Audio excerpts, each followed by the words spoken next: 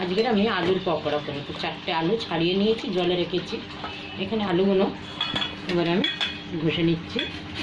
কোনো জল রেখেছি ঘষে জলেই করব আলুটা। আলুগুলো সব ইয়ে করে নিয়েছি, ধুয়ে ভালো করে। এবার আমি জল থেকে নিয়ে কাপড়ের মধ্যে রেখে দিচ্ছি।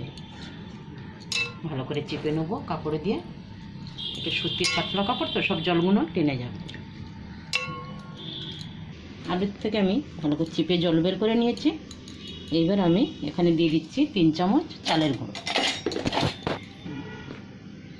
এটা আমার চালের গুঁড়ো, তিন চামচ দিয়ে দিলাম। দিয়ে দিচ্ছি কাশ্মীরি লঙ্কার গুঁড়ো, এক চামচের মতো একটু নুন, এক চিমটির মতো হলুদ দিয়ে দিলাম। এখানে কাঁচা লঙ্কা, রসুন আর আদা থেতে রেখেছি। দিয়ে দিলাম। সামান্য একটু তিল দিয়ে দিচ্ছি। আমার কাছে আছে বলে তাই দিচ্ছি এটা। এখানে কর্নফ্লাওয়ারটা দিচ্ছি, তিন চামচ।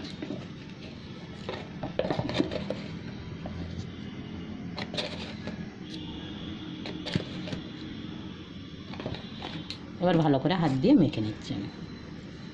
এখানে জল লাগবে না। হুম এটা মাখতে মাখতে নরম হয়ে গেছে, নুন দিয়ে মেখেছে তো। কোনো জল লাগেনি কিছু না। এবার ছোট ছোট বল বানিয়ে ভেজে নেব।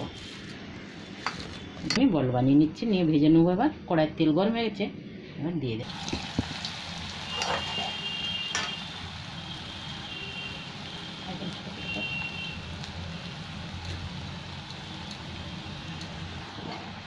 এখানে আমার ভাজা হয়ে গেছে, এবার আমি উঠিয়ে নিচ্ছি। গ্যাসটাকে মিডিয়াম করে দিয়ে ভেজে নিয়েছি। তাহলে কি ভেতর বন্ধন পুরো ভালো ভাজা হয়। আমার সব আলুর পকোড়া ভাজা হয়ে গেল। এবার আমি উঠিয়ে নিলাম এখানে খুব মুচমুচে কি আওয়াজ? খড়কার খড়কার এবার আমি এটা সস দিয়ে আজকে আমাদের বিকেলের চায়ের সাথে আলুর পকোড়া।